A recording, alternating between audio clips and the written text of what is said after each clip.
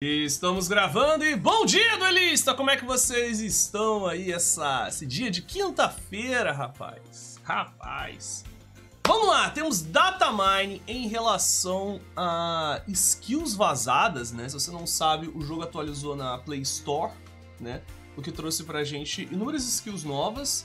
E também tem uma lista de possíveis cartas para a próxima box com base em alterações de raridade das cartas do datamine e também palpites, tá? Então, enfim, eu vou mostrar tudo, quando, quando chegar na hora eu vou explicar direitinho o que é, mas é uma lista de possibilidades, tá? Não é uma lista de realidade, mas provavelmente muita coisa ali vai se tornar real.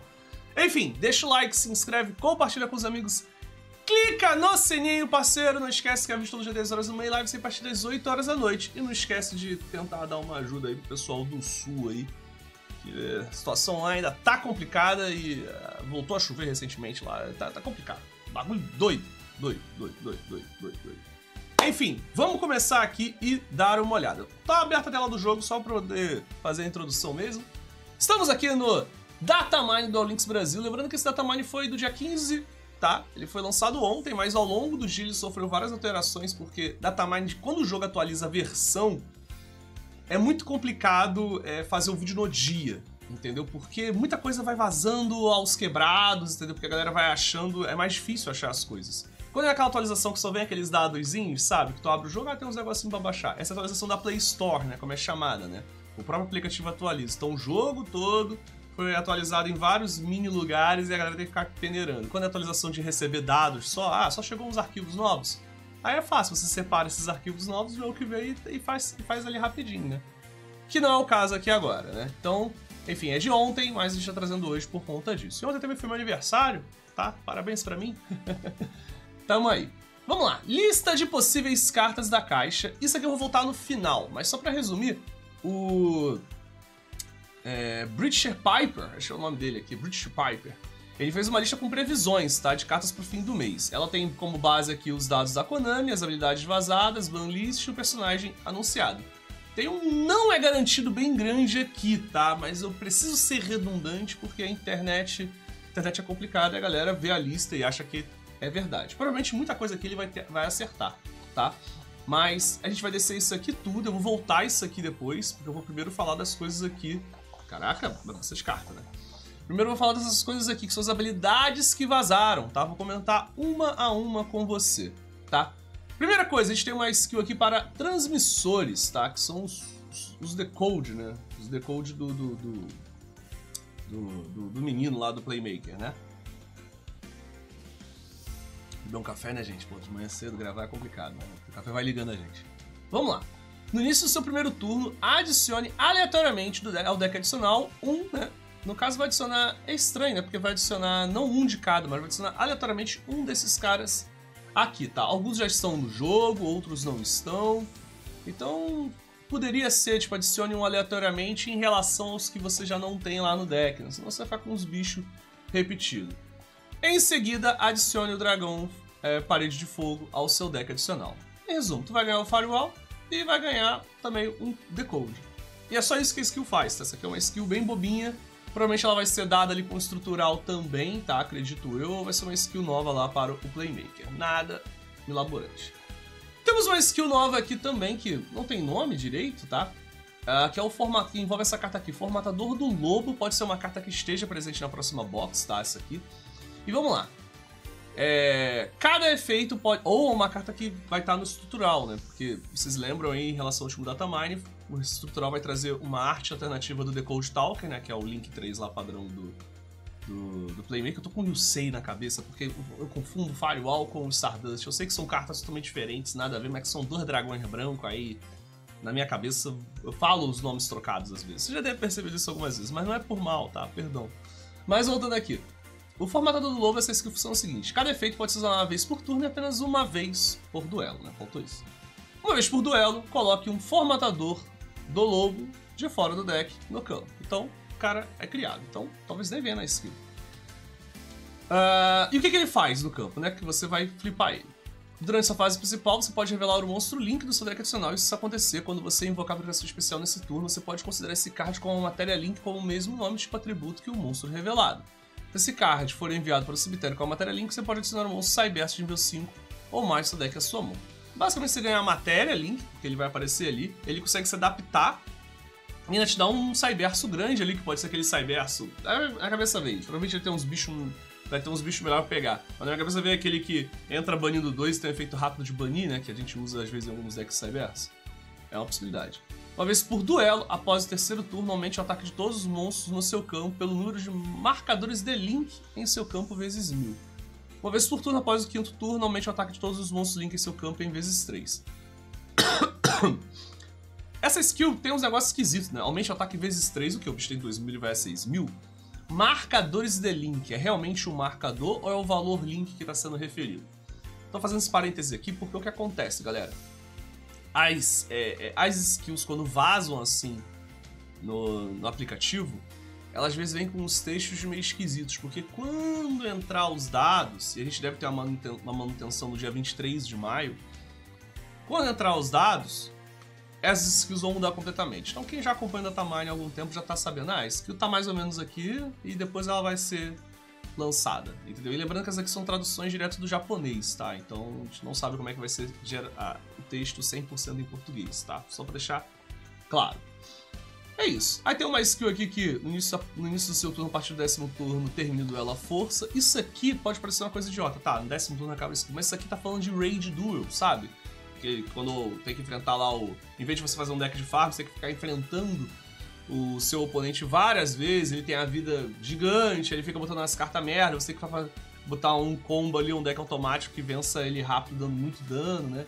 Enfim, isso aqui é só uma skill para revelar que o rapaz do, do, do, do, do Solarvinha lá, do cara das plantas, eu confesso que eu não sei o nome dele de cabeça, não sei. Naquele vídeo eu sabia porque tava com, com o negócio ali escrito, mas esse vídeo eu não sei o nome desse cara da planta é, vai ser um Raid Duel, então não vai ter deck de farm, vai ter que só ficar descendo da porrada nele.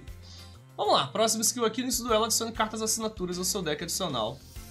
Ao seu deck deck adicional. E durante a fase final de um turno em que você sofreu dano de uma carta do oponente, ganhe 500 pontos de vida. Isso aqui provavelmente é a skill inicial do personagem novo, que por que raios eu esqueci o nome dele? Calma aí, eu vou resolver isso aqui agora, eu vou lembrar o nome do cara. Cadê aqui, ó? É, Sonala, Solavon, Sonalavon, como é que é Sonalavon Yu-Gi-Oh! Como é que é o nome disso aqui? Pera aí. Sonalavon Yu-Gi-Oh! Achei aqui, ó. É o deck utilizado pelo Spectre. Spectre o nome? Isso. É Spectre o nome dele. Pronto. É isso.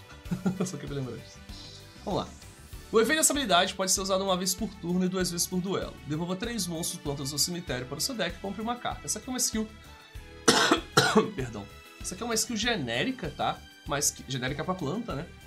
Mas que a gente pode usar isso aqui em outros decks de planta, tipo. É... Caraca, eu tô com um brilho hoje na mente, gente. Pelo amor de Deus, acho que é a idade. Fiquei velho ontem já, já, já foi pro caramba já. O deck lá das plantinhas que flipa lá e faz, causou um terror no Duel Links, lembra? Lembra que você enche o cemitério às vezes muito rápido você acabava ficando fragilizado ali a tomar um decaute? Então, você pode devolver três cartas e comprar duas. Então você ganha duas cartas ali no deck. Meu Deus, qual é que é o nome dos bichos que flipa das plantas, mano? Que tinha o comum. Eu lembro o nome da carta, mas não lembro o nome do arquétipo. Caraca, comum Yu-Gi-Oh! Vamos botar aqui, ó. Comum Yu-Gi-Oh! Como é que era o nome dele? Silvestre. Desculpa, gente. Desculpa.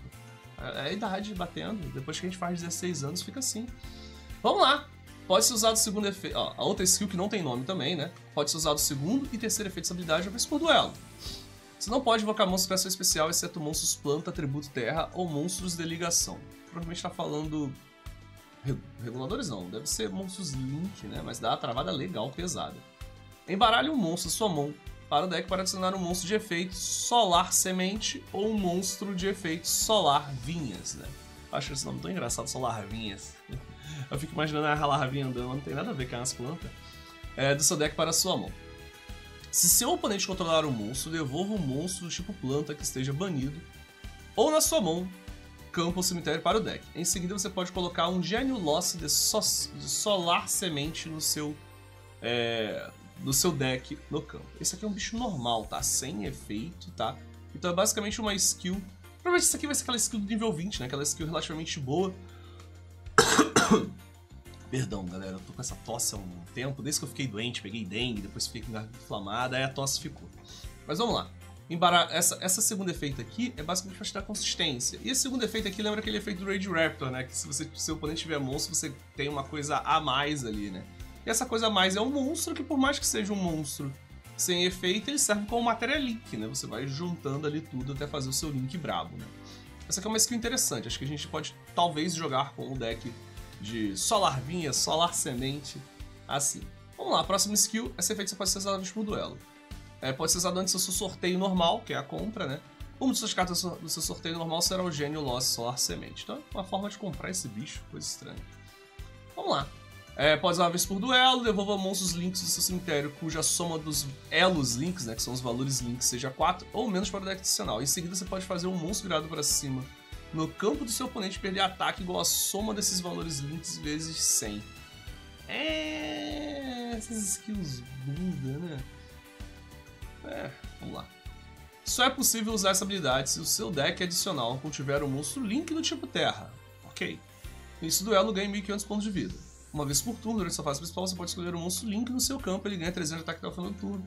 E se o monstro Link, e se um monstro tipo Terra estiver no seu campo ou no cemitério, o monstro escolhido ganha 300, é, mais 300. Né? Então, tu ganha vida e bufa ataque, né? Link de Terra. De novo, a mesma skill, devolva três monstros pro plano para o seu deck e compre uma caça. Beleza? Só fazer a vez duelo. Então, é duas vezes mesmo ter essa skill. Eu lembro que eu tava lendo mais cedo. É... E eu fiquei, caraca, é duas vezes, né? Ó, é, 1524 é a mesma skill da 1529. Não sei porque tem duas vezes aqui, tá? Não sei se. Essa deve ser uma skill, talvez, que o personagem vai ganhar e talvez outros personagens, como a Kisa, vão ganhar também, não sabemos, tá? Dá um gole no café, ver se melhora minha memória. Vamos lá! Só é possível essa habilidade se o seu deck adicional contiver um monstro Link do tipo Trevas. Você ganha 1500 pontos de vida e é a mesma coisa do outro efeito, só que em relação aqui coisa. É umas skills genéricas que podemos estar trazendo, né? Essa aqui é pra Link de Terra, essa aqui é pra Link de Trevas, o que pode ser mais interessante Trevas, né? E vamos lá. Mais uma skill aqui. Ah, essa skill é legal. É, é legal, mas é boba, tá? Pode ser usada duas vezes por duelo. No início da sua fase principal, coloque um monstro do tipo zumbi de nível 5 ou superior da sua mão na parte inferior do seu deck, em seguida compre uma carta. Eu confesso que gosto dessas skills bobinhas, assim, que interagem sem exigir muito. Tipo, essa skill para aquele deck lá do Barledrosh, lá Barledrosh, é interessante, porque você não quer ele na mão muitas vezes, né? Você, tipo, putz, mano, quero botar ele no deck pra tentar pegar alguma coisa. Então tu bota ele no fundinho do deck e compra uma carta e volta a fazer o seu combo, né? Eles fizeram uma coisa dessa de mago também, né? Isso aqui é interessante, isso aqui é interessante. E vamos lá, vazou a skill também da, do estrutural, né? Do estrutural aí que vai trazer o Dark Fluid Dragon, né? Uma coisa assim. Uh, você pode usar o ter segundo e terceiro efeitos uma vez por duelo. O primeiro é limitação, né? Você não pode invocar a monstro em normal ou especial, exceto monstros do tipo Cybers. Talvez o Extra Deck seja livre, tá? Talvez. Porque como eu falei, essas skills não estão 100% ainda. Vamos lá. Se houver um monstro Link 5 no seu deck, revele um Firewall ou um monstro de ritual da sua mão para banir Feiticeiro Cyberse, Dragão Clock Cyberse, Dragão Quântico Cyberse, Dragão Firewall Exceed e o Dragão Firewall de fora do seu deck. Então você vai criar todos esses caras banidos lá. Em seguida, adicione um card da magia Cinet do seu deck à sua mão. E se usado a partir do segundo turno, adicione um Cinet Restauração de fora do seu deck à sua mão. A carta cinética você pode buscar, tem algumas opções, acho que a mais famosa é aquela que você busca monstro, né? Então é uma skill que vai criar um monte de carta banida e vai te dar um monstro aqui. O que é interessante é que você pode depois puxar esses bichos banidos pro cemitério, que se você lembra que o Dark Fluid Dragon ele tem negates igual ao tipo variado de monstros cybersos que tem, né? Por isso que tem esses bichos todinhos aqui que a skill vai deixar banido, né? Porque para cada um ele vai ter um negate de monstro, né? Então se você conseguir trazer isso tudo de volta com aquela carta da dimensão lá que o pessoal usa nos decks de zumbi para puxar os Mezuki de volta, pode ser bastante interessante. Mas a skill também faz um pouco disso, tá? E essa carta que ele adiciona, Cinete Restauração, é uma carta que não tá no jogo, provavelmente vai vir no estrutural. E a Cinete Restauração faz o seguinte, escolhendo seus monstros banidos, invoca a questão especial. E durante sua fase principal, seus pontos de vida forem... Perdão. Forem 2 mil ou menos, você pode banir essa carta do cemitério e depois escolher dois de seus monstros cybersos banidos. E adicionar a sua mão, você pode usar o efeito Cinete Restauração uma vez por turno. É mais rápido interessante para, enfim, te dar as plays ali. O que é legal é que a skill por hora, mas pode ser que mude, fala que os monstros é, são banidos, mas que não podem, mas não fala que se podem ou não serem invocados. Geralmente pode, tá? Mas nas últimas skills, a Konami deixa claro que pode. Nessa skill, por hora, não está claro que pode. Então, eu não sei se a gente vai conseguir invocar esses bichos banidos do nada, assim, e começar a aplicar os seus efeitos, né? Alguns são mais úteis, outros são meio inúteis, né? Mas, vamos lá. E o último efeito da skill é que durante o turno em que você invocou um sucessor, decodificar transmissor, né, que é o próprio Decode Stalker, né? Devolva até 5 monstros que estão banidos ou no cemitério para o seu deck. É o que é estranho, né? Então, não sei se você vai conseguir fazer esse combo do dragão fluido negro lá de maneira bem consistente ou não, tá? Mas vai ser interessante explorar as possibilidades, tá? Acho que com certeza quando vai querer empurrar isso aqui, vai, vai ter mais cartas também, além disso aqui, do, da arte alternativa do Decode. Com certeza o Firewall deve vir de reprint também ali. Vamos ver. Aí temos aqui uma skill para Calibre, né? São lá o, o, os dragões lá de trevas lá que ficam os, os rockets, né? Vamos lá. Você só pode usar o terceiro e quarto efeito dessa habilidade uma vez por duelo. Você não pode invocar com normal ou especial nenhum monstro, exceto monstros dragão cyberso do tipo trevas. Pra travar, né? Você pode invocar questão normal é, monstros com ataque e defesa combinados de 4 mil sem tributar. Isso aqui, tá? Ele tá falando no geral. Então você pode dar várias invocações normais, tá? Até que o total ali de ataque e defesa combinados sejam 4 mil. Talvez você consiga uma segunda, quem sabe uma terceira invocação normal. Depende de como é que você montar o deck ali, tá? Outro efeito aqui é que você envia dois monstros tipo dragão de nível 7 ou mais alto da sua mão ou deck para o cemitério pelo menos um de cada, pelo menos um da mão. E depois adicione um monstro com ataque e defesa combinados de 4 mil do seu deck à sua mão. Pelo resto você não pode invocar monstro com essa especial, exceto monstros links. Isso aqui é pra você buscar, como diz aqui, uma carta com ataque combinado 4 mil. 4 mil é curioso isso aqui, tá? E, tem, e pelo que deixa claro aqui, tem que ser exatamente um monstro que a combinação dê 4 mil, 4 mil. Dê 4 mil no total, né? De ataque e defesa, né? E o quarto efeito é se seu oponente é, tiver um monstro no campo ou no cemitério, joga um monstro calibre Link 2 do seu deck adicional. Então você ganha um calibre ali no campo Link 2 para te ajudar a fazer combos, né? Cara, é o seguinte, provavelmente essa skill, por mais que esteja estranha aqui, quando ela sair a gente vai ter uma, uma coisa mais com clareza. Isso aqui vai fazer mais sentido quando a gente tiver os monstros que vão vir, né? Tem alguns palpites lá em cima, mas eu já tô vendo que o vídeo tá ficando muito longo, porque são muitas skills para ler. E enfim, é, com certeza isso aqui vai fazer mais sentido quando a gente saber os monstros por trás aqui, o que, que vai vir é, de novo ali de calibregado e de rocket, tá? Até porque a skill que a gente tem ela é bem interessante, né? Será que eles vão trazer aí o link um dos rocket aí? Olhamos que sim. Vamos lá, skill para representante, né? É um deck que, inclusive, esse deck aqui eu, eu, tenho um pouco de culpa, né? Eu tenho uma culpinha interna nele. Porque quando a gente. Como eu falei, a gente testa os negócios em live, galera, né? E quando eu testei em live, o deck foi avassalador. A gente arrancou um monte de vitórias seguidas, acho que pegou o rei dos jogos. A gente falou: caraca, esse deck vai ser muito bom e tal. E o deck simplesmente flopou. Um monte de gente falou: pô, Renan, montei essa merda, o deck foi ruim. Eu falei: poxa, gente, mas a minha mão funcionou, né? Eu não tenho como pegar, tipo assim, testar 10 vezes em 10 contas diferentes e saber se o negócio vai não. Eu só divido a minha experiência, né? Eu falei, pô, joguei com deck, o deck é maneiro, então é isso. Mas, enfim, é triste, mas eu fico assim me sentindo meio mal, entendeu? Por causa disso. Mas acho que todo mundo entende que eu, sei lá, acho que. O pessoal ficou assim, pô, mal vacilo, mas ninguém veio fazer protesto na porta da minha casa, né? Ninguém queimou pneu aqui na porta da minha casa. Mas vamos lá. Para representante, o que essa skill faz? Você pode usar o segundo e terceiro efeito dessa habilidade é... Uma vez por duelo. Engraçado que não tem um terceiro efeito. Lembra do que eu falei, que não tá tão 100%? Uma vez por turno, envie até dois monstros. Tá aqui atrás, não, tá depois não. Uma vez por turno, envie até dois monstros representantes do deck para o cemitério, tá? Você joga dois lá, parecido com a skill dos Constelar. Além disso, você pode devolver o Mestre Império da sua mão para o seu deck e adicionar um regulador representante ou um Mestre Império do seu deck à sua mão. Isso aqui é interessante porque o regulador representante ele busca a carta, que é o Terra, né? Então o Terra vai entrar, vai buscar a carta, depois os outros vão entrando por especial por conta que ele tá ali, né? Outro efeito aqui, uma vez por turno, devolva um monstro representante ou bola de brilho mística do seu cemitério para o deck e trate até dois monstros tipo fada no seu campo como reguladores. Isso aqui é interessante também porque essas bolas aqui, elas em vir na sua mão, né? E a Vênus é um monstro que você invoca, você apagando vida e vai trazendo as bolas para o campo, né? Então você consegue aqui ela se devolve do cemitério, né? Então é uma forma de você jogar também com as bolas. Mas eu lembro que a versão que a gente usou também de, de, de, de representante não usava isso aqui, porque isso aqui ajuda, brica demais, né? É uma ideia interessante até você fazer spam de link, mas acaba atrapalhando mais do que ajudando. Até aquele deck. É... Caraca, eu tô, eu tô ruim, eu tô péssimo de nome hoje. Mas um deck link aí que é, é, tem ali com os Mech Cavaleiro ali, né? Não é o Crusadia não, mas é o outro que tem ali que faz um monte de link. Já jogou com isso aqui, mas não, não, não vi muito. Mas enfim, o terceiro efeito da skill não tá aqui, tá? Não tá tudo completo, como eu falei. Vai ficar tudo completo provavelmente no dia 23, quando entrar as coisas, e vazar de fato a box e a gente confirmar o que de fato vem nela. E pra galera que gosta de trap, acho que a gente tá chegando no final aqui. O último deck que nós temos aqui é o Armadilha Trix, né? Que são umas menininhas de trap, é, umas, meninas planta trap, né? Que fazem Exceeds, né? Ganhou até um estrutural estranho recentemente, né? Porque eu acho meio errado, porque são umas meninas literalmente crianças, né?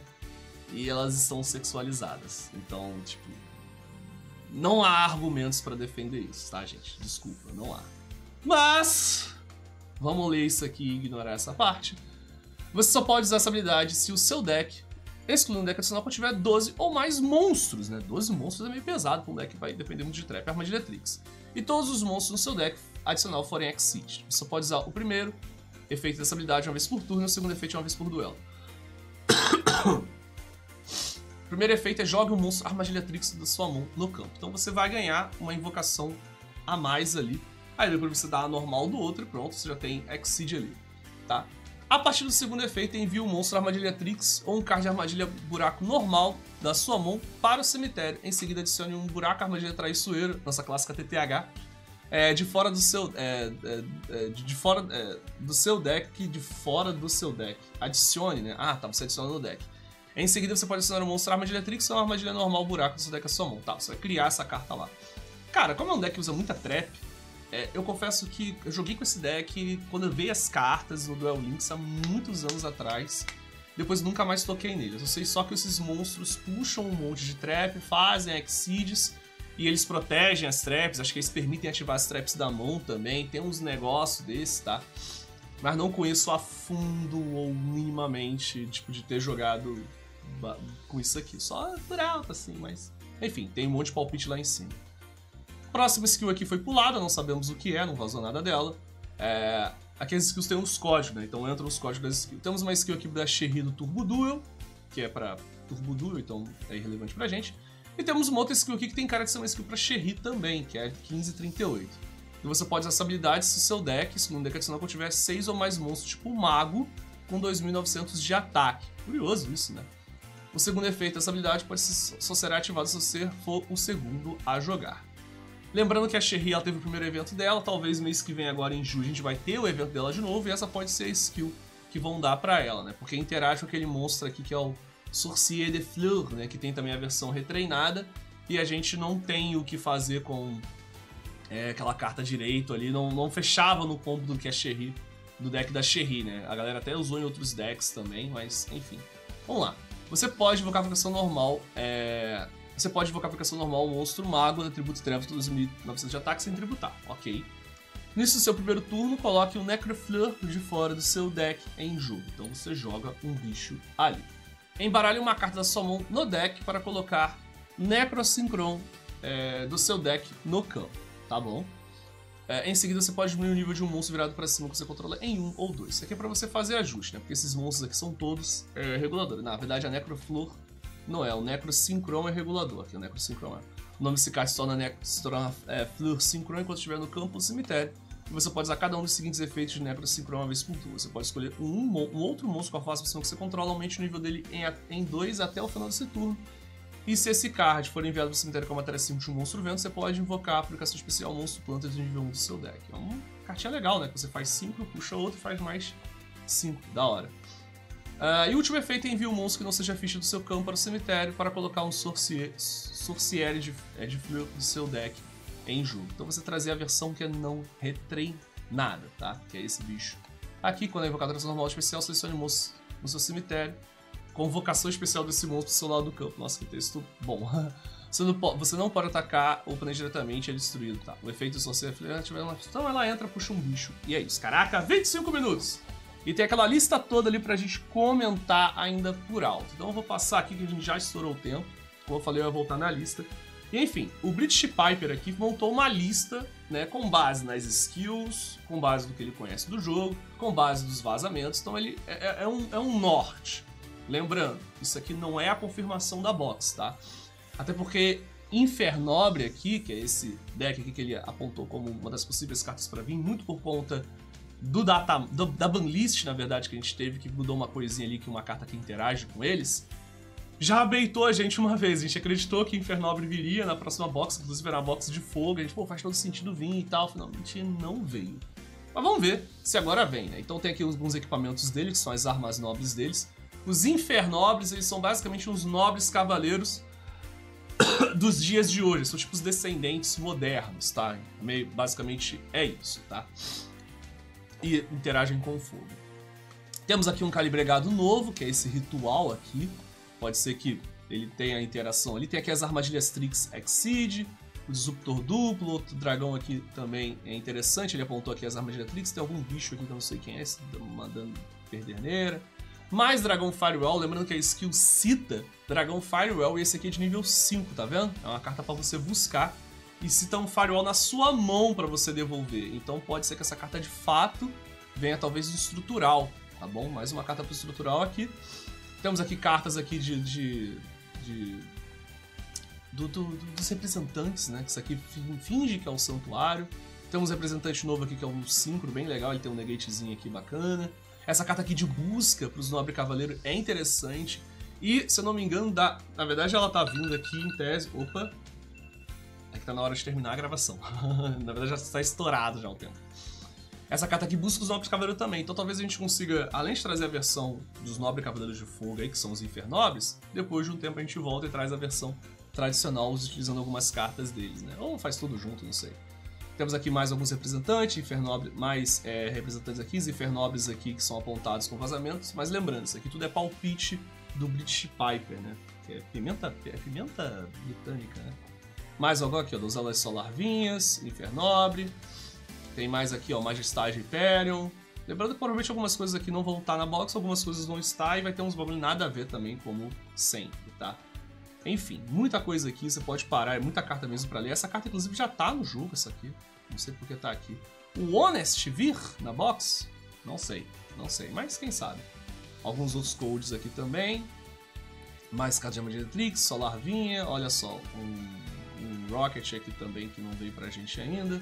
Umas cartas aqui de Dragon Link também, né? Esse Dragon Notovisão é bem legal tá? Mais armadilha Trix. E é isso. São só palpites, então a gente não vai se prolongar muito, porque não é nada 100%. Mas você pode vir aqui no Galinks Brasil depois ler as cartas todinhas e ter o seu próprio hype aí. Enfim, galera, de qualquer forma, desculpa pelo vídeo ter ficado muito longo aí, a gente falou bastante. Não esquece de deixar o like, não esquece de se inscrever, não esquece de compartilhar com os amigos, clicar no sininho, são vídeos todos os dias às 10 horas da manhã e lives sempre a partir das 8 horas da noite, meus amigos. Tem outros dois vídeos ali na tela pra vocês. Deixa eu trocar a tela que acho que ficou mais bonita assim. Não esquece de ajudar nossos amigos do Sul também, quem puder aí. E é isso, galera. Coloca nos comentários o que você acha ou desacha disso tudo. Esse vídeo ficou bem estourado, tem que correr agora pra upar e fazer a thumb. Mas é isso, galera. Valeu, tamo junto. Fui! Caraca, ficou gigante, quase meia hora.